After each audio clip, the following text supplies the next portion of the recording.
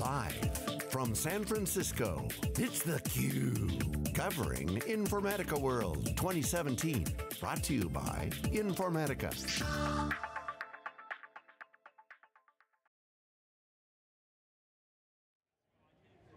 Welcome back everyone. We're live in San Francisco for CUBE's exclusive coverage of Informatica World 2017. I'm John Furrier with SiliconANGLE. Our next guest is Anil Chakravarthy, who's the CEO of Informatica, CUBE alumni multiple times, but the Chief Executive Officer leading the, the charge of a great private company, doing very well. Welcome back to theCUBE. It's great to be here, John. Now we've Thanks got a couple things to talk about, but I want to just jump in. Behind us you see the new logo, uh, Informatica.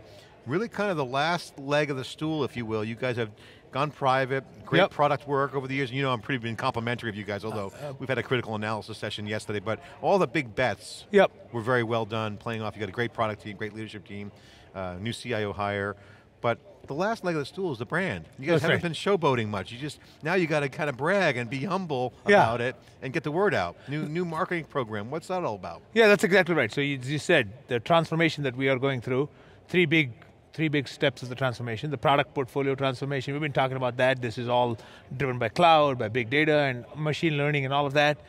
Then the transformation of the business model. So from license to subscription and cloud services. And now the, the brand transformation. And we see the brand transformation as actually catching up to where the company actually was. You know, we were just talking about that right before we got started. Yeah. Uh, we actually have done a lot of things like for instance, did you know that we are doing a one trillion transactions a month in the cloud?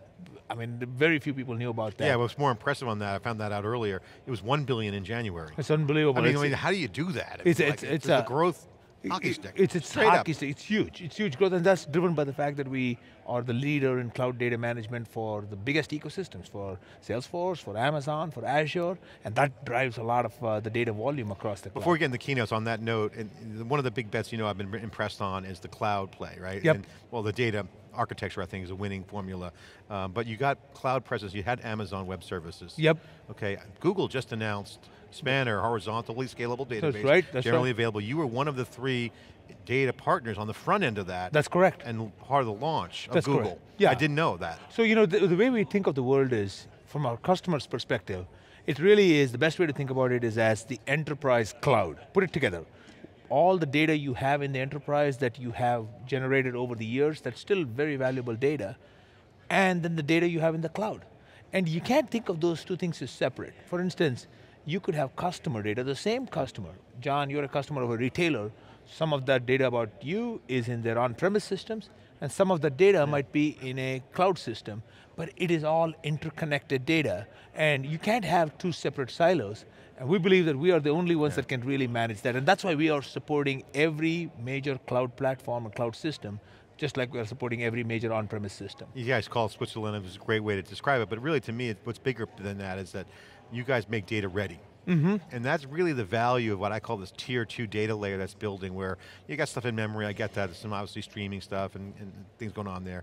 But now, then you have third tier, you know, archive, but data, tier two is just like all the data, IoT, mm -hmm. structured data, that's growing, but the cost to store is getting lower and lower. Mm -hmm. So now companies are incented to store. How is that impacting your business? We heard that at Dell EMC World over and over, and obviously they're in the storage business, but the tier two storage is significantly growing. Well, data is still growing at over 25% a year. That's a huge number given already the size that you have.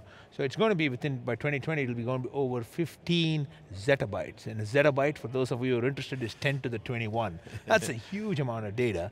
And what we are seeing is the value comes from being able to, first of all, see your way through the data, being able to understand what data is valuable and what's not, and then connect the data. If you have customer data, product data, location data, et cetera, being able to put all of that together. That's really the, where the value So I got to ask you about your keynote. You talked about the digital transformations unfolding and data is the critical foundation for right. digital transformation okay, we've heard digital transformation. I mean, I mean, I'm not to say it's played. I know you guys yeah. have your theme, but there's business transformation going on. So yeah. digital transformation is known trend, but it kind of played in my mind. I want to know what's different about Informatica now. Why is it unfolding now versus when two years ago when we started talking about digital transformation? What's well, the most relevant thing now? Well, I think the biggest uh, relevance is two years ago, as you exactly said, people were talking about digital transformation.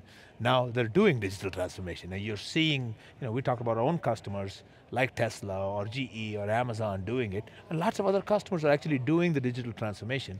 Now when you first take the first step towards the digital transformation, that's when you realize, my data, I got to fix the data foundation. If I can't have a, a data foundation, then I just, you know, the, everybody cares about a good customer experience. If I can't tell all the interactions a customer has with my company, and that data is in different places, there is no way I can provide a good customer experience because the customer knows what they're doing with me, and I don't know what they're doing with me.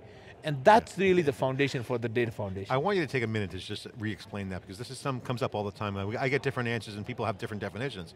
What does it mean to have a digital data foundation and what are some of the impacts to the customers when they do have that? Well, the, the, think of it the simplest way is let's say you have a customer and a lot of the new customers are like that, you have a, you're a bank and you have a customer who doesn't want to talk to anybody. They only want to do everything through a mobile application.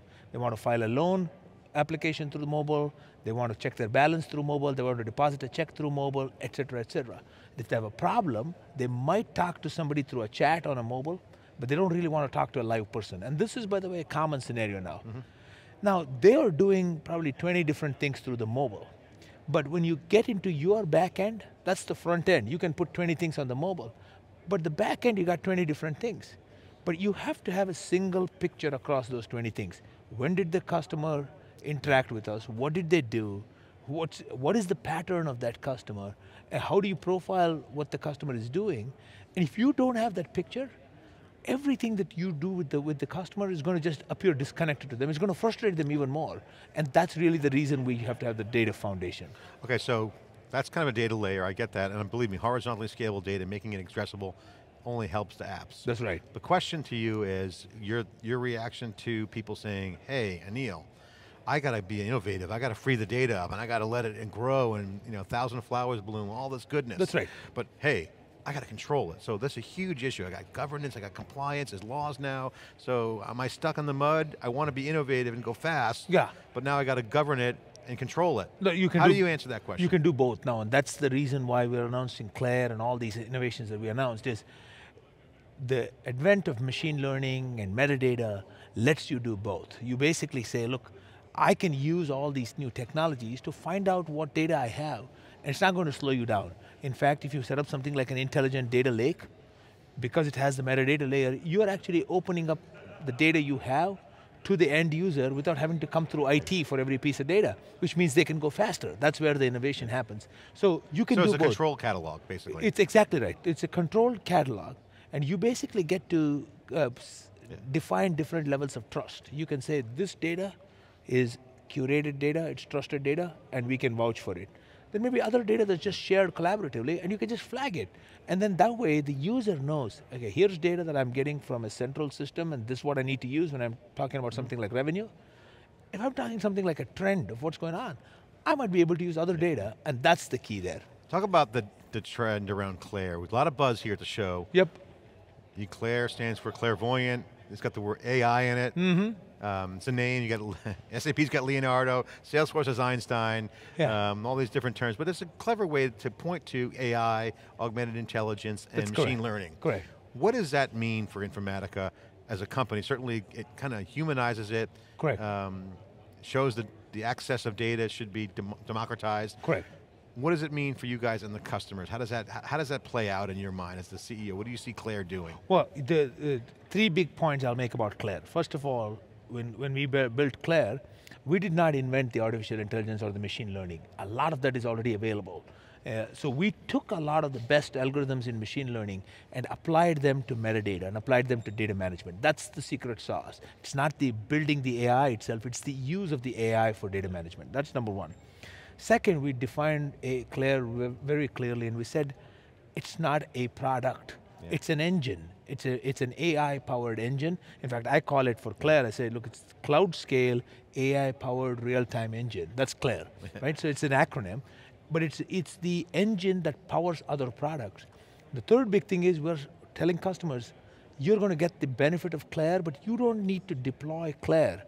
When you buy any of our products that are powered by Claire or any of our solutions that are powered by Claire, that will automatically come in there. So it means once you have any product like our enterprise information catalog or our secured source or data governance, you're starting to use Claire and then you can use Claire for other uh, use cases as well. What's been the reaction? You know, obviously you get nervous, CEO, you probably got these things out there, you probably wonder what the reaction is. What's your take on the reaction? People are very intrigued. I know that was the they look at Claire and go, what is Claire? What how how are you guys using it? I think people are asking us, tell us a little bit more about how AI is being used in the world of data and data management. So it's, uh, it's absolutely the reaction we wanted. So I got to ask you this question. I asked Mark Hurd the same question at the Oracle Media Day a few weeks ago. Um, I want to ask you the same question. Everyone's number one at everything now. Mm. you guys are number one in six quadrants. Um, Oracle's or number one, Dell, they're everyone's number one at something. So, so the question really is not so much about being number one. Congratulations, you got some Magic Quadrant wins that was highlighted in the keynote. But you're, you're, you guys are going through a transformation. You're mm -hmm. telling your customers that they're going through a transformation. Wouldn't it make sense that the transformation scoreboard looks different than the old way? And, and, and I want to get your thoughts on this because not that we have the answer, but you know, there's one answer in customer wins. Mm -hmm. But as this new world transforms and unfolds, what's the scoreboard look like? How, because it's not as clean to say, this is the category, you're starting to see a little blending, as you mentioned how data is evolving. Yeah. What's the new scoreboard look like? Is it the scoreboard for us or for the customers? You guys, the industry, how do I know if you're doing well? Obviously customer wins is obviously number one. I think, uh, yeah, I think the best way to, um, I'll give you a couple of metrics, financial and non-financial, okay? From a non-financial perspective, as you said, there are a couple of key metrics. One is customers, mm -hmm. how mm-hmm. many new customers, how many new customers are, uh, or reference customers do we have? Second one that you want to look at is just mind share. Or when people think about digital transformation, do they think of, hey, Informatica, they have a key role to play in my digital transformation. Just looking at mind share and so on, because that's a good leading indicator. Um, in terms of the non-financial, or the financial metrics for us, uh, obviously, as more customers do what we call enterprise cloud data management, you're going to see our subscription revenue grow dramatically, and you know that's something that when you look at our subscription revenue, you'll see mm -hmm. that impact of the enterprise cloud data management. And you guys made the move to subscription, obviously went private. Bruce Correct. Chizen talk, and Jerry Held, your board members, talked about this. You can do a lot of things because it doesn't, it impacts the P&L, but the, it's still baking out, it's evolving, you're private, you're not public. Correct. But you want to get it right before you go public. That's correct. How do you feel about the, the progress on that front now? Oh, we're making fabulous progress. We're very pleased with where we are. I, from my perspective, we are ahead of where we wanted to, where we thought we would be yeah. by this time. Yeah, I think uh, customer buying behavior has converged really nicely with where we are in terms of where we want to go. So I think that's uh, that's definitely been a big plus. Sally Jenkins, your new CMO, you got to feel good about her coming on oh, board. Oh, she's done a great High job. impact. She said on the cube that you guys are the uh, the hottest privately held pre-IPO startup. That's right. Um, 20 years in the making, whatever. I mean, I mean, it's a, but you guys are private. We're, you are a billion dollar startup. You're acting like a startup, which is why I, you know we we like you guys a lot because you, you, guys are like a very hustling like a startup. Yeah. But now you're growing. That's right. right. And you get and beyond the 200 million, over a billion dollars now. When's the IPO coming? Yeah, I mean, you know, look, I can tell you the factors that will be the, the lead to the, the, perfect timing for the IPO. When those factors come together, I don't have a crystal ball right now, but I can tell you, it's it based both on us and the market. From our perspective, uh, we are making this big shift in the uh, business model. We want to make sure that we can say, hey, look, we now the shift is very clear and stable, and we can see where they, where you know, we'll be able to project out our our own um, forecast for the next three, yeah. four quarters. So that's one key indicator mm -hmm. for us. The second key indicator that we look at is the total revenue growth of the company and what percent of the growth of the revenue is recurring revenue for us. So we're going to be looking at those two factors, and of course, from the market perspective, we want to make sure that the market wants to yeah. is, is, continues to be. Uh, you wait four years till we had a new president, and then I heard all the politics from the Kara Swisher thing was. Uh, got a lot of people stirred up in the conversation.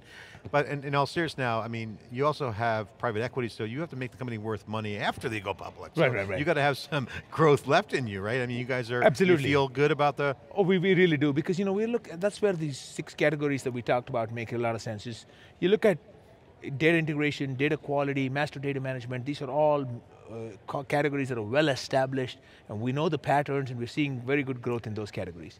Then you look at the new categories, cloud, big data management, data security, those are all coming into their own right now. So that's why when you look at our portfolio, you go, wow, there, there are some that you already have great, well established and going well. Mm -hmm. These other ones, they're, they're well established, but they also have a lot of promise and future growth. Great chatting with you. You're a great, uh, insightful and, and, inspiration. You guys done a great job. Um, but I got to ask you this, the question because I think you you have an interesting role. I mean, you have you're acting like a startup, but mm -hmm. you're not a mm-hmm. startup. You went private from a public company.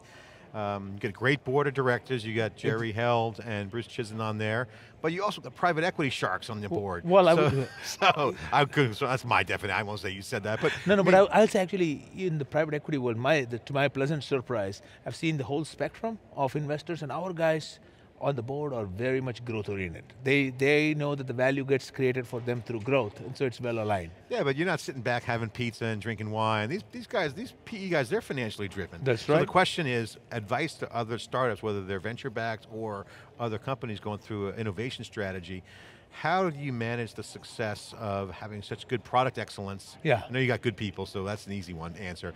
How as a CEO do you maintain the discipline to have the cadence of the financial performance? Correct. Because those guys, look, at they, they're probably not going to give you, hey, how are we doing? The numbers matter, but you, you, you're transforming technology and products. That's right. So what we do is how do you do it? We you know we have a scorecard which has both the short term and the long term metrics. So and we look at both of those. You know we do a, we do monthly business reviews. So we the the pulse of the company has definitely quickened. We're operating at a new level of intensity. But when we look at the scorecard, it's not just the immediate financial metrics. It's things like, for example, are we building the back end infrastructure to be a subscription company? That's not get doesn't get done in a month. That's a That's that's, an IT challenge, right? that's an IT challenge, it's a process challenge. It takes Yeah. 12 months, 18 months, the kind of things that you talked with Graham about. But that is an example of you can have a scorecard. You don't necessarily have to look at a scorecard just for the short-term metrics. You look at it for both short-term and what makes you successful over the long term. And that's you know that's what we we're doing is just keep our eye on the ball, focus on a few things, both short-term and long-term, and make sure we're doing them well. How about customer wins? To me, that's the scoreboard. Ultimately, that's we look at Yeah. at our team.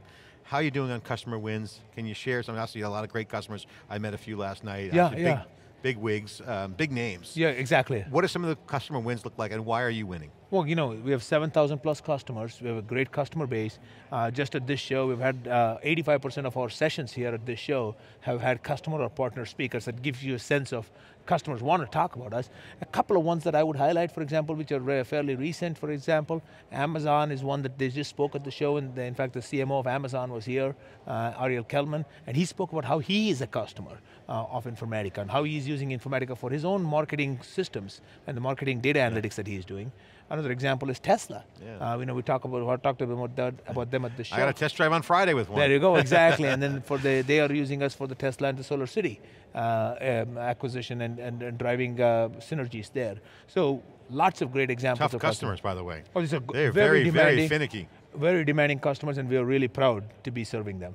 Okay, final question, Anil. What's next? How do you look forward? Obviously this event, congratulations on getting the branding out. Yeah. Uh, Peggy and the team did a great job, and Sally and the team did a great job. Um, what about um, next? What's next?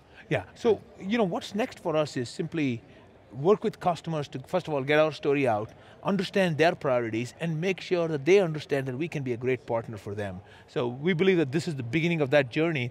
We, we talked about digital transformation and how we help them. Now we take the show on the road to our customers, make sure that we help them at their pace to transform. So bring them, bring the message out, build the brand. Absolutely. That's a key priority. And then continue- Product side, what's, what's going on the product? Well, on the product side, for instance, you saw a teaser of all the big trends. Machine learning, cloud, big data, security. All of these have full-fledged roadmaps that we're going to be working on over the course of the next uh, six months. Anil, great to see you. Congratulations on you can see you're still intense. You got the intensity. It's not going to stop. By No, the it's way. not. It's only going to get No.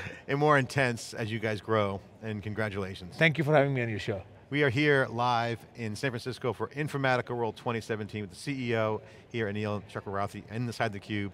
I'm John Furrier. Thanks for watching. Stay with us for more coverage from Informatica World after this short break.